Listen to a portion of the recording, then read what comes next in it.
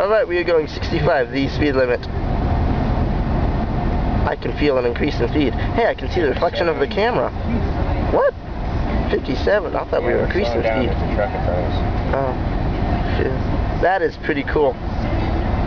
Like accurate. Oh, way to go. Here.